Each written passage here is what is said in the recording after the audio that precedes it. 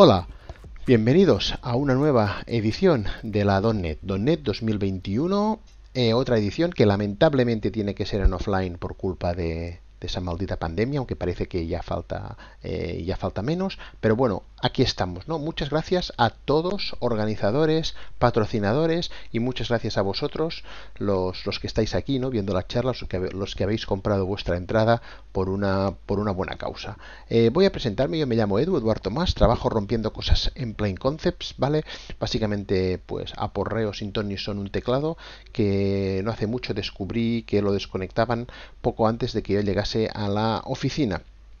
Eh, hago cerveza artesana, pero me la bebo, lo cual me impide de vivir eh, de ello. Y tengo un blog, shimenis.dev, en el cual, si tengo que ser honesto, escribo últimamente más o menos con la misma cadencia con la que George R. R. Martin saca libros nuevos, ¿vale? o sea que os podéis imaginar cómo va el tema y eh, bueno, soy como Paco Umbral, me he venido a hablar de mi libro. Yo sé que esta conferencia se llama .NET, pero yo os voy a hablar de Kubernetes, ¿vale? Cosas, cosas, de, cosas de la vida, ¿vale? Eh, entonces nada, ahí tenéis mi correo electrónico de thomas.plaincontext.com, mi dirección de my public inbox y mi Twitter. Así que hechas las uh, presentaciones, pues vamos allá.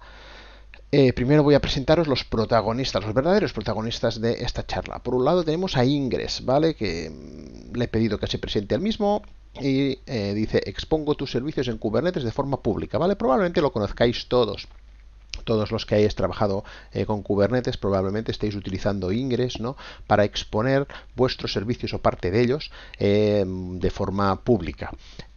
Y ahora os voy a presentar un poquillo su compañero, ¿no? Que es eh, Gateway API, que es, bueno, el primo zumosol de inglés, ¿vale? Para todos los que no conozcáis eh, la referencia del primo zumosol, eh, que más o menos pues vais a ser probablemente los mismos afortunados que todavía no tenéis que vacunaros por la COVID, pues tiene que ver con unos anuncios de hace bastantes años donde a este pobre chavalito, ¿vale? Este de ahí, eh, pues básicamente sus compañeros le, le, pegaban en el cole y le robaban el desayuno y demás, hasta que un día pues viene su primo, ¿no? El primo Zumosol, ¿vale? Que es este chavalote de ahí a arreglar las cuentas, ¿no? Con eh, todos, ¿no?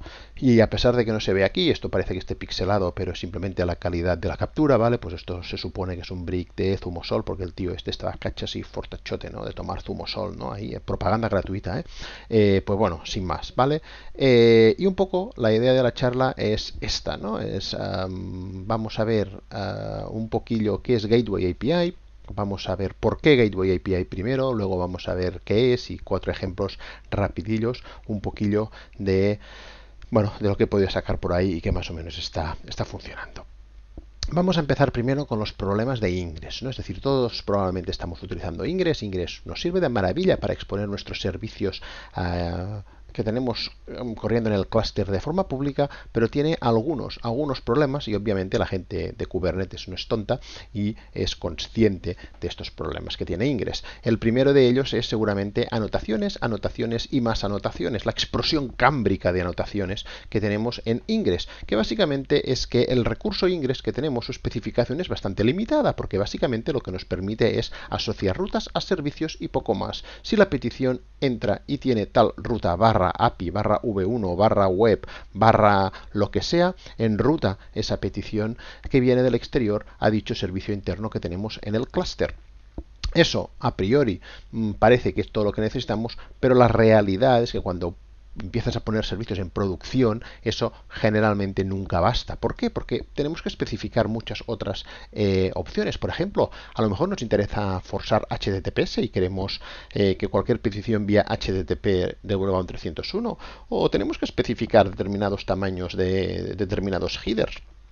O configurar cores. O especificar versiones de TLS etcétera, etcétera, etcétera. Hay un montón de anotaciones en Ingres, ¿no? Que tenemos que utilizar siempre, ¿vale? Y que, pues bueno, además es que son específicas de cada controlador Ingres, ¿no? Es decir, yo siempre pongo, yo siempre pongo, si me permitís, el, el, el, el mismo ejemplo, ¿vale? Es decir, voy a abrir aquí un un, browser, ¿no? Y yo siempre pongo este, este ejemplo, ¿no? Eh, estas son las anotaciones del controlador de ingres de Nginx, ¿vale? Todas estas anotaciones son propias de Nginx, ¿vale? No son estándares, ¿vale? Y sirve precisamente para especificar y para configurar todas estas cosillas que estábamos diciendo. Y por supuesto, como digo antes, estos son las de Nginx. Ahora imaginaros, cualquier controlador Ingres que pueda haber en el mercado, que si Envoy, que si Traefic, eh, que si Ambassador, etcétera, etcétera. Da igual, cada uno tiene las suyas, ¿vale? Y esto es simplemente porque el recurso Ingres como tal, ¿no? Se nos ha quedado corto. Esto sería un uno de los principales problemas que tenemos en Ingres. El segundo problema con Ingres tiene que ver con que a veces en determinadas circunstancias nos puede forzar a tener que tener determinados contenedores y a lo mejor pues mm, esto incluso puede llegar, esto supuesto es extremo, ¿no? Pero podría llegar a desestabilizar el clúster. ¿Por qué? Porque básicamente el problema principal que nos enfrentamos aquí es que solo nos permite enrutar una ruta a un servicio. Básicamente en Ingress cogemos rutas, ¿no? barra API, barra V1, barra web, etcétera, etcétera, y decimos para esta ruta lo sirve este servicio, para esta otra ruta este servicio. Ahora imaginémonos un escenario típico de pruebas AB o de Blue Green Deployment o Canary Releases, etcétera, etcétera, cualquier escenario en el cual queremos que algunos usuarios vayan a la versión 1 y otros usuarios vayan a la versión 2. Por supuesto, nada nos impide que el servicio al cual estamos enrutando la ruta de API por decir algo, abarque pods de distintas versiones. Al final el servicio va a seleccionar los pods a través de su selector y puede seleccionar pods de la API V1 y de la API V2. Ahora bien, el problema llega cuando queremos fijar un tanto por ciento fijo de usuarios que vayan a V1 y otro a V2. Imaginémonos, por ejemplo, que queremos que 9 de cada 10 usuarios, 9 de cada 10 peticiones se enruten a la V1 y una de cada 10 se enruten a la V2 porque estamos haciendo un canary release y lo que queremos es pues simplemente empezar a desplegar eso poco a poco y por lo tanto pues venga, primero se lo vamos a dar a un 10% de los usuarios y luego ya lo abriremos más, ¿no? Si queremos hacer eso en Ingress definitivamente es posible. ¿Cuál es el problema? Que necesito que esta relación en este caso sería de 90 a 10 o de 9 a 1 exista el número de pods de V1 a V2. ¿Por qué? Porque Ingress me va a enrutar API al mismo servicio y luego va a ser el servicio el que va a decidir qué pod subyacente envía esa petición. Y si yo quiero que haya esta proporción de que 9 de cada 10 peticiones vayan a V1 y una de 10 vaya a V2, pues necesito que de cada 10 pods que hayan bajo el servicio, 9 sean de V1 y 1 sea de V2. Pues ahora imaginaros si en lugar de 9 a 1, que ya nos implica tener un mínimo de 9 pods de V1 por cada pod de V2, pues estamos en, en tanto por cientos todavía más pequeños. A lo mejor quiero un 99% de las peticiones vayan a V1 y solo un 1% a V2, ¿no? Pues en este caso necesitaré 99 pods de V1 corriendo por cada pod de V2 y al final pues esto puede ser imposible de configurar en el clúster porque puedo terminar pues ahí, ¿no? Con, con, con, con, con demasiados pods, ¿no? Eh, entonces este es otro problema de Ingress, el de un servicio por ruta, otra limitación, si lo queréis entender así mejor. ¿vale? Otro más importante es ah, que un mismo host virtual puede estar definido en distintos objetos Ingress, es decir, al final en Ingress, en la especificación de Ingress, le podemos poner un host. ¿no? Y básicamente lo que le estamos diciendo es, oye, todas las peticiones a barra, voy a decir algo, a barra API, que lleguen a través de el host eh, api.midominio.com, que se enruten a este servicio del cluster. En este caso, api.dominio.com es el host virtual que estamos definiendo.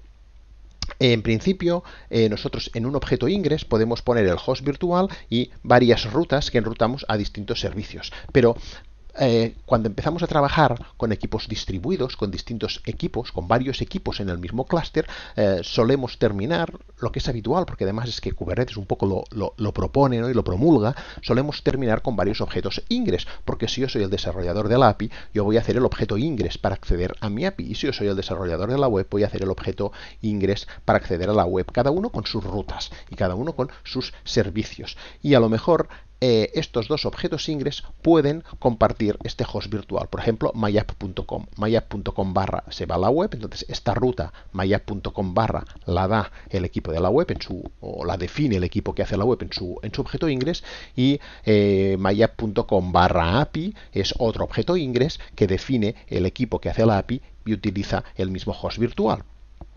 Estos objetos ingres pueden estar perfectamente en namespace distintos. Al final, el controlador ingres que tenemos instalado, la pieza de infraestructura que se encarga de dotar de funcionalidad a ingres, eh, digamos que analiza el clúster o, monitoriza todos los objetos ingres que hay y digamos que los combina todos ¿no? en su configuración, lo cual esto es bueno, esto es bueno, ¿vale? Porque esto permite lo que estábamos diciendo, equipos distintos con accesos a namespaces distintos, configurar rutas sobre virtual host. Guay, eso es perfecto y muchas veces es necesario. El problema es que a veces no que eh, nos gustaría que eso no fuera posible, ¿vale? ¿Por qué? Porque no hay forma de evitar precisamente esto y puede ocurrir que cualquiera que tenga permisos para publicar un ingres en cualquier namespace puede inyectar rutas en cualquier host virtual, ¿vale? Lo cual a veces en algunos escenarios, como por ejemplo, eh, estoy pensando ahora en Kubernetes multitenant, ¿vale? Esto nos puede dar lugar a un error de seguridad y obligarnos a hacer todo tipo de desarrollos adicionales para impedir precisamente esto, porque esto no hay manera de evitarlo, ni con RBAC ni nada. ¿Vale? Porque básicamente el tema es que cualquiera que pueda definir un ingres sea en el namespace que sea, puede utilizar cualquier host virtual y definir rutas sobre este host virtual.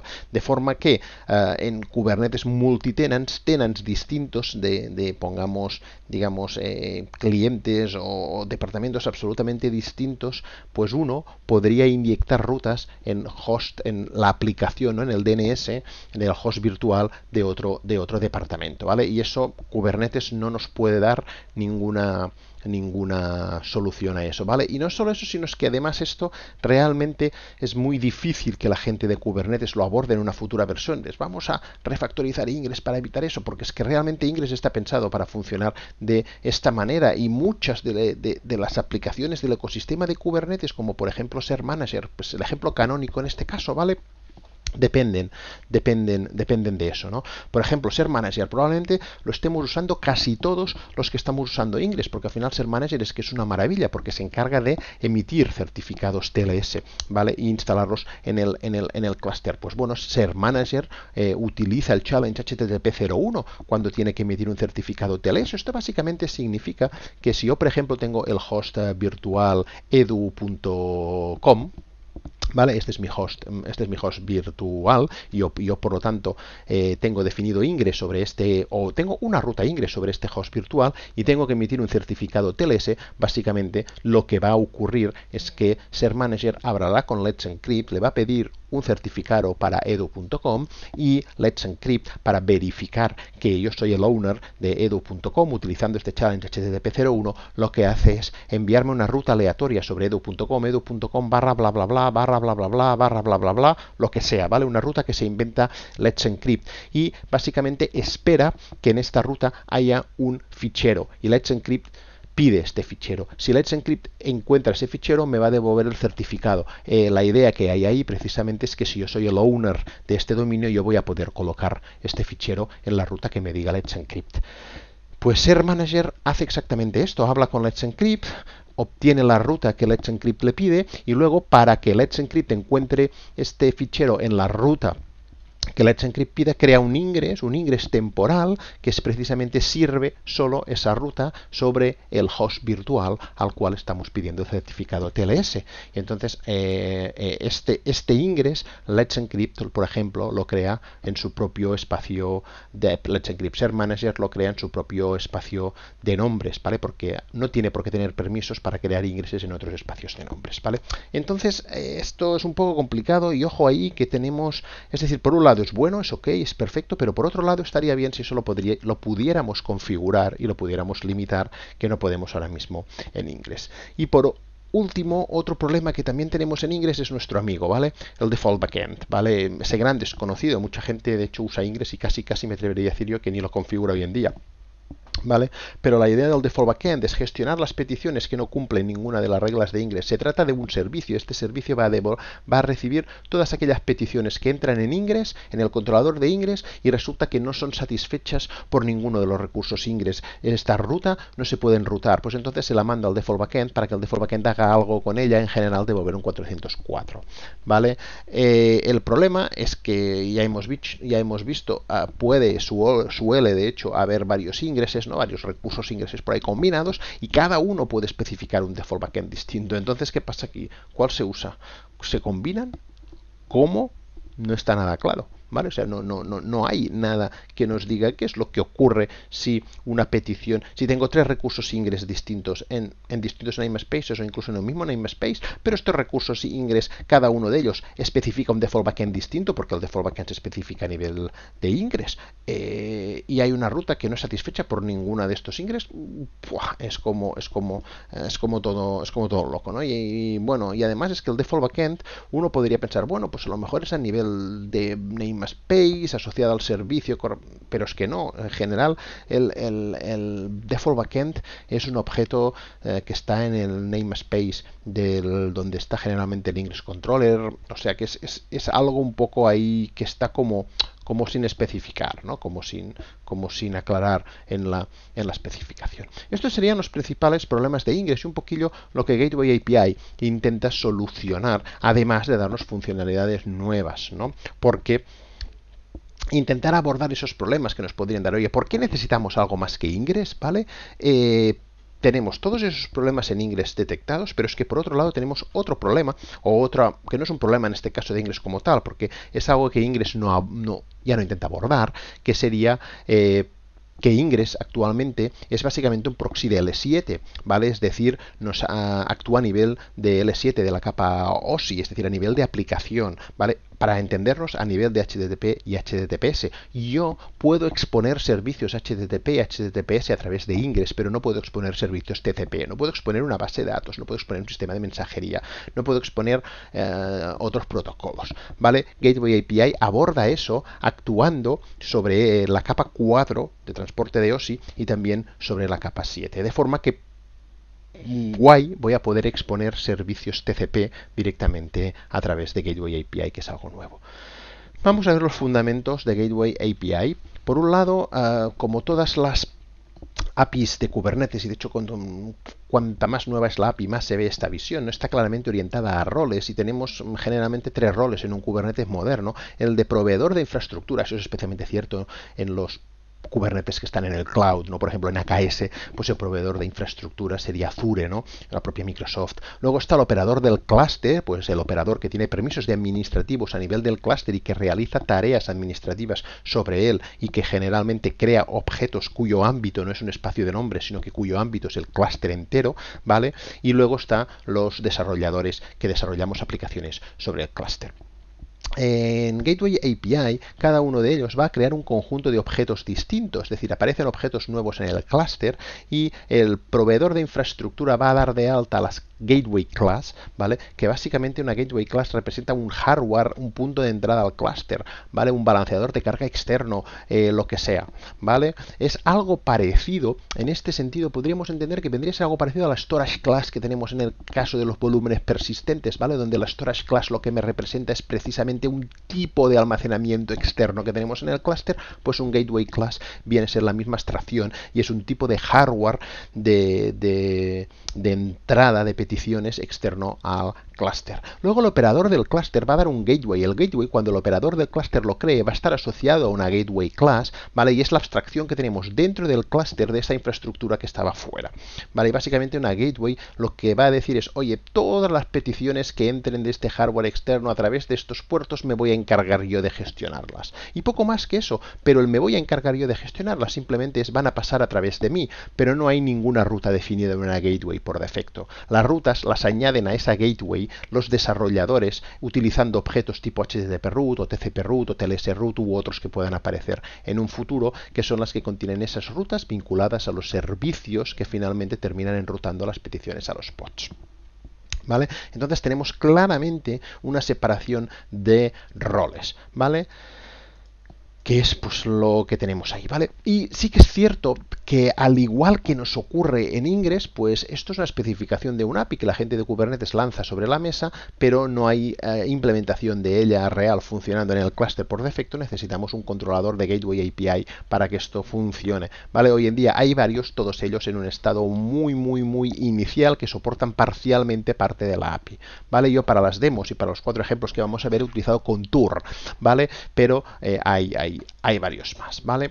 Entonces, hemos hablado ya de la Gateway Class, tenemos también esa Gateway, lo importante ahí es que no contiene regla de enrutado ninguno y aquí pone solo HTTP root, pero puede ser HTTP root u otros objetos similares como TCP root, ¿vale? O sea, HTTP root me, representa una ruta HTTP HTTPS, TCP root, por ejemplo, es una ruta TCP, ¿vale?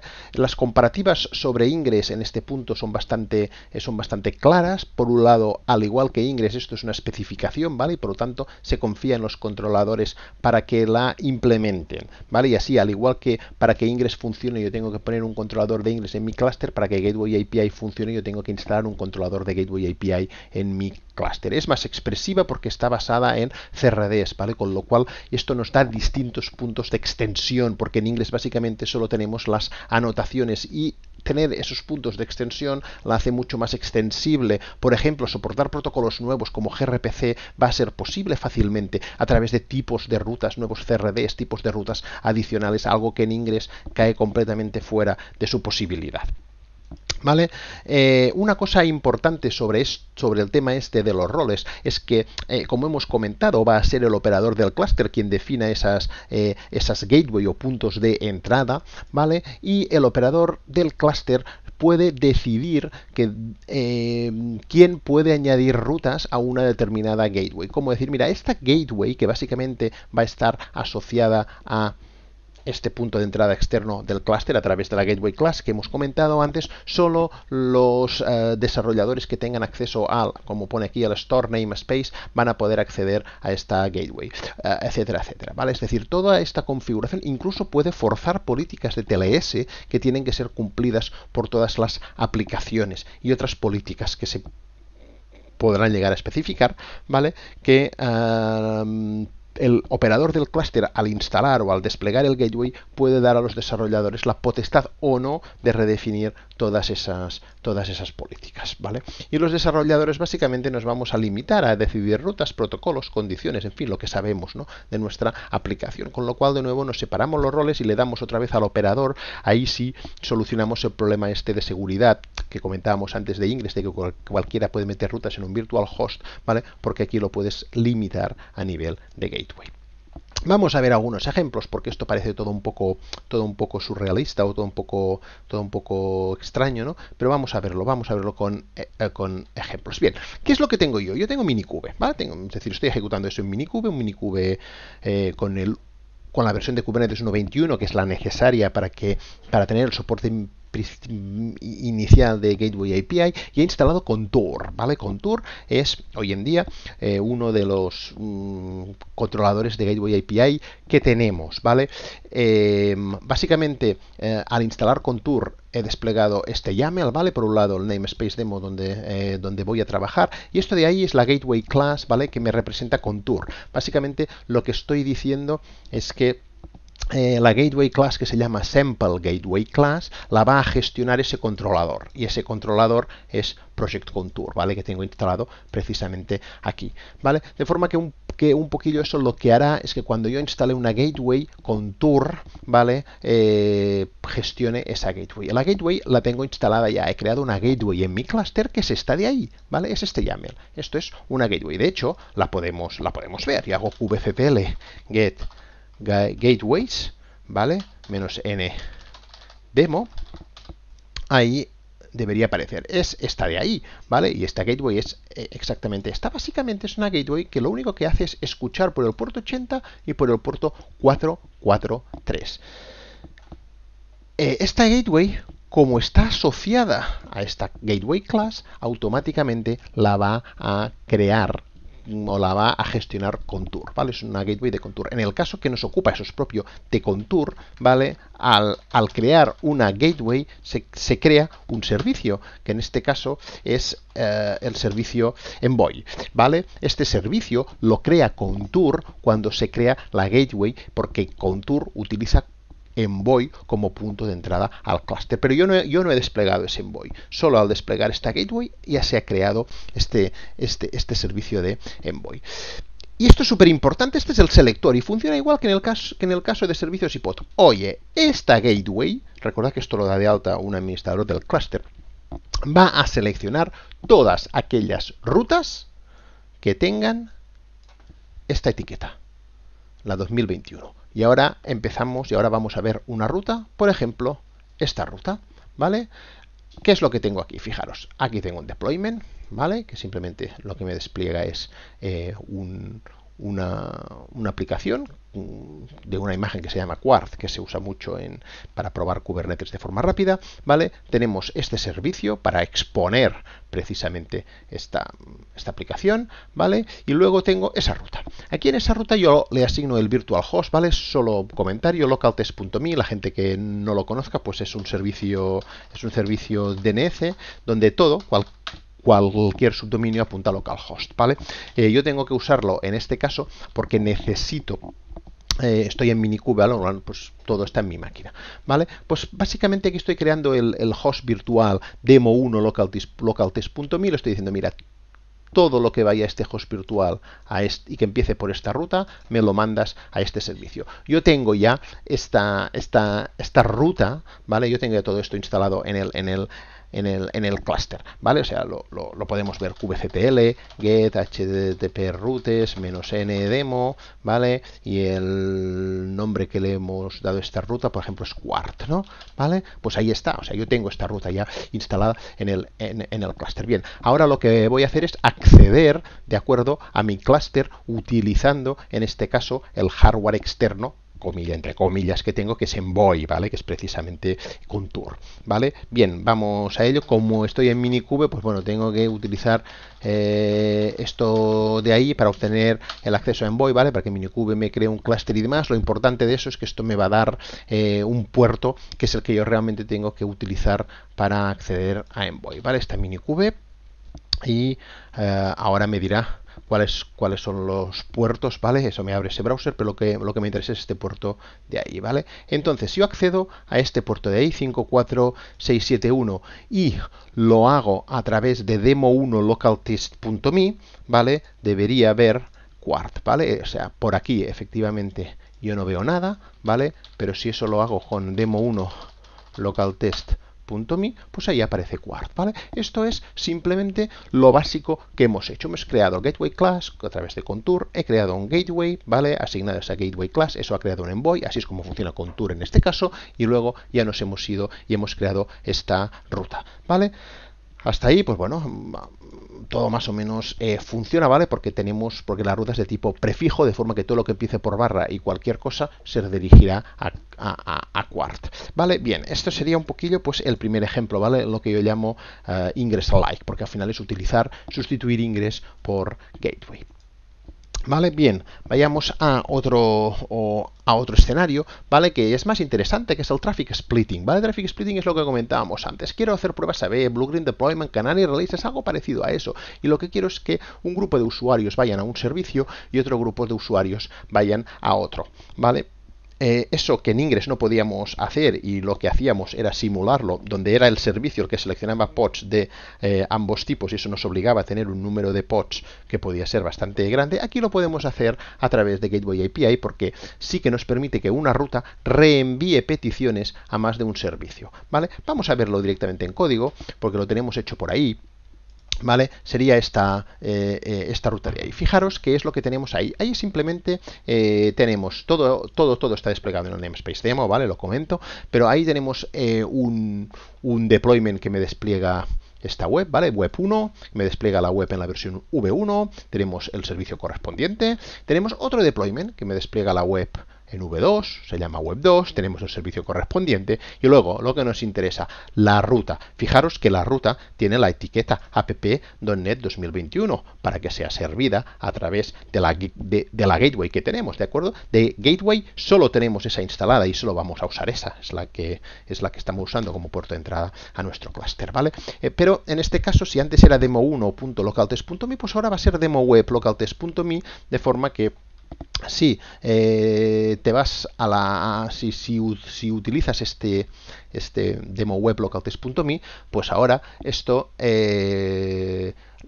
el 50% de las veces te debería ir a web 1 y el 50% de las veces te debería ir a web 2 ¿vale? en weight vale pues ponemos precisamente estos eh, estos, porcentajes ¿vale? entonces esto es demo web pues bien vamos a verlo ¿no? donde antes teníamos esto pues ahora en lugar de uh, demo 1, pues podemos poner demo web, ¿vale? Y esto nos debería acceder a la web. Pues por ejemplo, que nos aparece esta, ¿no? Pues en esta charla veremos cómo funciona Gateway, bla, bla, bla, bla. Y si yo voy refrescando, refresco, ¿vale? Pues fijaros que de vez en cuando va cambiando la descripción, porque son las dos versiones de la web. Son idénticas y lo único que he cambiado es la descripción, ¿vale? Entonces, a veces nos sirve la V1 y a veces nos sirve la V2, más o menos en este porcentaje de 50-50, ¿vale? Porque esto es precisamente lo que hace esta ruta que tenemos definida aquí. ¿vale? Entonces, fijaros que lo que digo, ¿vale? Hemos puesto los, uh, los dos deployments y los dos servicios, web 1 y web 2, y luego simplemente en la ruta le hemos dicho que redirija el 50% de las veces a web 1 y el 50% de las veces a web 2. Esto es algo nuevo que en Ingress ya no podemos hacer. Insisto, ¿eh? la etiqueta app.net 2021 para que esto sea expuesto a través de esta gateway que pide precisamente esta etiqueta como selector. ¿Vale? Entonces esto sería un poquillo lo que, lo que comentábamos aquí de Traffic Splitting. Traffic Splitting tiene una posible variación que es hacer un Canary Release, porque esto nos permite ver otra nueva característica de Gateway API, que son las comprobaciones por header. ¿Vale? Como, perdonad, como pone exactamente aquí, ¿vale? Lo tengo también desplegado en el clúster, así que dejadme que os lo enseñe, ¿vale? Lo, lo, tengo aquí en este caso, en lugar de utilizar la web, pues he simulado una API, ¿vale? Con lo cual tengo un deployment, que es la API 1, ¿vale? Que fijaros que me expone la imagen en la API V1, tengo el servicio correspondiente, tengo otro deployment, API 2, que me expone la web en la V2, tengo el servicio correspondiente y luego tengo una ruta. Esta ruta básicamente, ahora fijaros que el hostname es Demo Canary, ¿Vale? Lo mismo, la label .NET 2021 para que esté expuesta a través de la misma gateway y básicamente lo que le estoy diciendo ahora mismo es que mira, por defecto, tú fijaros que aquí no hay no hay paths de ruta, ¿vale? Sino que todo me lo vas a reenviar a API 1. Excepto, porque aquí hay un matches, ¿vale? Excepto en el caso de que haya un header, ¿vale? Cuyo nombre sea traffic y cuyo valor sea test, y si este header existe, lo vas a redirigir a V2. Entonces, basándonos en un header, puedo seleccionar qué servicio hay, ¿vale? Es demo canary, entonces lo que, eh, lo que vamos a ver es, vamos a hacer un curl, ¿vale? El... Um, entonces, demo canary localtest.me, ¿vale? Tengo que usar el puerto que me da minikube, 54671, 54671, ¿vale? Y ahí podéis ver cómo me responde la API V1. Pero ahora bien, si yo añado el header, ¿vale? Y le digo, mira, pues el header es traffic test, ¿vale? Pues ahora me responde la API V2. En función de exista o no exista este header, me, ah, me, responde uno u otro. ¿vale? Entonces, esta es otra característica que también tenemos en este tipo de rutas. Ya no solo puedo hacer distinciones por ruta como antes, por, por path, sino que también puedo hacer distinciones por ruta. Y fijaros, y ahí viene lo que comentábamos antes de la extensibilidad, ¿no? Es decir, fijaros que esto al final va a ser súper extensible, ¿vale? Y ahí pues seguramente irán surgiendo nuevos tipos de comprobación y nuevos tipos de posibilidades en las cuales podamos seleccionar entre distintos servicios a través de una misma ruta, ¿vale? Uh, de momento tenemos esta uh, basándonos en headers, ¿vale? Y eso nos da pues para hacer estas canary releases, eh, por ejemplo, ¿no? Y pues que solo los usuarios que tengan este header vayan a la nueva versión. Eh, simplemente un comentario de cómo podríamos hacer un blue green deploy basándonos en esto, pues imagínate imaginaros que partimos de este punto de partida, ¿vale? Que es el mismo que habíamos visto antes en el traffic splitting, tenemos 90% de los usuarios van a ir a la V1, 10% a la V2, ¿vale? Eh, yo estoy haciendo la prueba, bueno, parece que todo va bien, las métricas funcionan, no hay quejas, etcétera, etcétera, pues entonces cambio la ruta, actualizo el objeto HTTP root y pongo 01, ¿vale? Que es equivalente a poner 0100.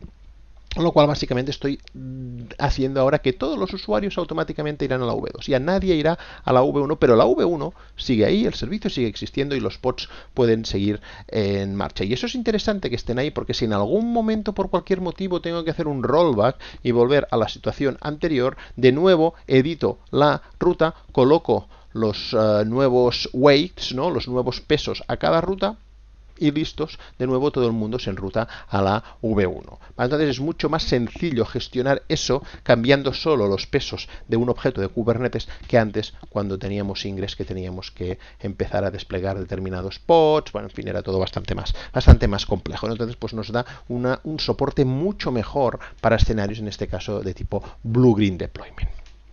Y dejadme un par de palabras ya casi finales. Por ejemplo, vamos a hablar del mapeo de TCP. Hasta ahora hemos estado viendo objetos de este tipo. Eh, los objetos eran de tipo HTTP root, ¿vale? Son rutas HTTP nivel 7, ¿vale? Pero tenemos también eh, la posibilidad de crear objetos de tipo TCP root. Por supuesto, el gateway tiene que aceptar rutas de este estilo en un determinado puerto. Fijaros que cuando yo he definido esa gateway, ¿vale? Pues aquí básicamente le he dicho que va a aceptar eh, para el puerto 80 va a aceptar rutas HTTP, para el puerto 443 va a aceptar rutas HTTP, eh, pero fijaros que esto es un array, yo puedo dar de alta más protocolos ahí con distintos puertos y poner rutas de tipo TCP. Vale, pues por ejemplo, por el puerto 1433 me vas a dar de alta una ruta de tipo TCP root, ¿vale? Y esto básicamente lo que me va a permitir exponer son uh, directamente puertos TCP, algo que en Ingress no podía hacer, ¿vale? Por ejemplo, todos sabemos que en Ingress si querías si quieres exponer tu API tu web, ningún problema, lo expones en Ingress, pero si querías exponer al exterior, por ejemplo, tu base de datos en determinados entornos de desarrollo, ¿por qué no? Pues eh, tenías que hacerlo a través de un, de un, servicio no de port o load balancer, ¿vale? Pues aquí Gateway API lo va a soportar hacerlo, ¿vale? Con lo cual, pues uh, tendrás su propio virtual host, etcétera, etcétera. Se expondrá a través de una gateway. ¿Vale? Aquí tenemos una gateway que está definida para los puertos 8080 y 8090, tiene dos, uh, tiene dos rutas eh, TCP, ¿vale? Es decir, expone dos puertos con rutas TCP y lo mismo, fijaros que el selector depende de cada puerto, es decir, por el puerto 8080 va a exponer aquellas rutas cuya label sea appfu y para el puerto 8090 va a exponer aquellas rutas cuya label sea appe bar, ¿vale? Y nos faltaría dar de alta la ruta TCP, que la daríamos de alta de un modo parecido a este, donde básicamente simplemente pues le ponemos la etiqueta correspondiente, en este caso fijaros que es appfu, ¿vale? Con lo cual quedaría enlazado al puerto 8080 de la gateway por este selector, ¿vale? Y básicamente lo que haríamos esto es que si entramos a la gateway a través del puerto 8080, pues automáticamente se nos redirecciona al servicio SQL Server por el puerto 1433, ¿vale? Con lo cual hemos expuesto un servicio TCP al exterior un comentario, y es que yo he estado haciendo todo solo en, un namespace demo. ¿Por qué? Porque por defecto una gateway solo selecciona rutas que estén en su mismo espacio de nombres. Pero por supuesto esto en entornos productivos eh, no podemos necesitar otra distribución. No hay ningún problema que sepáis, eh, podéis mm, que sepáis que una gateway puede seleccionar rutas de todos o algunos espacios de nombres. ¿Vale? Eh, por ejemplo, esa gateway ¿vale? va a seleccionar rutas de todos los espacios de nombres, ¿vale? Este from es una cadena sin, sin determinar em, sin, sin, sin, formato determinado, ¿vale? Eh, con, eh, bueno, pues básicamente ahí puedes poner un selector de espacios de nombres y decir que solo las rutas que estén en determinados espacios de nombres van a ser seleccionadas por esa gateway. Pero eso no pasa automáticamente, ¿vale? Es decir, que la gateway tenga esto from namespaces from all o un selector de namespaces aquí no hace que automáticamente seleccione las rutas de estos espacios de nombres. La ruta tiene que indicar aquí también, ¿vale? Es decir, en algo parecido a eso, ¿vale? Aquí la ruta tiene que indicar em, que puede ser enlazada a otras gateways, ¿vale? Por ejemplo, en este caso, esa ruta permite ser enlazada a cualquier gateway y lo mismo, ¿vale? Esto, de nuevo, podría ser, pues, por ejemplo, directamente un selector sobre las gateways, ¿vale? Es decir, es como una especie de doble configuración, ¿no? La gateway tiene que estar configurada para aceptar eh, rutas de otros espacios de nombres y esas rutas que están en otros espacios de nombres tienen asimismo que dar conformidad de que van a ser enlazadas por una gateway que está en otro espacio de nombres. Y en principio, si esto funciona, eh, si, si, esto lo configuramos uh, bien, podemos tener la gateway en un espacio de nombres y las rutas en otros espacios de nombres distintos, ¿vale? Con lo cual, a pesar de que he hecho todas las demos en un mismo name, uh, namespace, no hay realmente ninguna obligación de ello, ¿vale? Y mm, para terminar, un comentario sobre TLS. En Ingress podíamos configurar el downstream del TLS, ¿vale? Que es básicamente es qué certificado presentaba Ingress cuando se conectaba un, cliente. Eso, por supuesto, lo podemos hacer también en, en Gateway API, pero lo bueno es que también podemos configurar el upstream, que esto es algo nuevo. Tenemos un objeto nuevo que es backend policy, donde básicamente ponemos simplemente el secreto, ¿vale? Esto, mm, esto de ahí sería el secreto básicamente de Kubernetes, ¿no? ¿Qué secreto de Kubernetes contiene el certificado TLS que este servicio va a presentar a la gateway, ¿vale? Y eso es algo completamente nuevo que no teníamos en Ingress y en Ingress si queríamos, es decir, lo más normal eh, era hacer SSL termination en el, en el Ingress y que la comunicación entre Ingress y el servicio a través de HTTP. Eh, esto sigue siendo, por supuesto, posible en, en, en Gateway, pero eh, si queremos una comunicación interna eh, en HTTPS, lo podemos hacer también, ¿vale? Y ahora esto nos simplifica mucho esa configuración porque antes configurar el certificado TLS que tenía que exponer un servicio era directamente tocar este servicio y hacer lo que tuviéramos que hacer. Ahora no, ahora va a ser automático. Este backend policy, ¿vale? Está, digamos, atado al servicio. Ahí tenemos el servicio al que está eh, usando básicamente es, oye, cuando cualquier gateway le pida uh, algo a este servicio utilizando HTTPS, este servicio va a responder con este certificado TLS, ¿vale? Y eso es algo nuevo. ¿Todo eso se va a cargar Ingress? No, ¿vale? Es decir, Ingress es una PGA y no se espera que sea declarada obsoleta, ¿vale? Simplemente tiene sus límites y a, Gateway API intenta solucionarlos. Eso está maduro, eso hoy en día está en alfa, ¿vale? Yo os recomiendo que empecéis a jugar con ello, que empecéis a familiarizaros, ¿vale? Pero tened presente esto, esto es alfa, ¿vale? Kubernetes 1.21 y probablemente van a sufrir varias expansiones y cambios, pero yo creo que es interesante que empecéis a desarrollar, es decir, que empecéis a jugar con esta Gateway API para ver un poquillo todo lo que se nos viene encima. Y bueno, eso ha sido todo, eh, muchísimas gracias y disfrutad del evento.